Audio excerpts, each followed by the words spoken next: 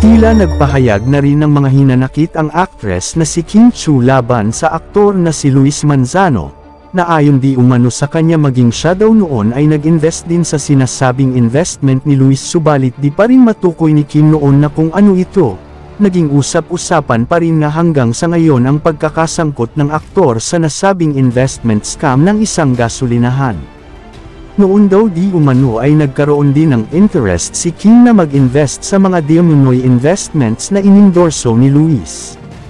Nahikayat naman daw di umano si Kim noon at buti na lang daw ay maliit lamang na pera ang kanyang nailabas sa nasabing investment scam. Ito daw di umano ang rason kung bakit wala na silang communication ni Luis.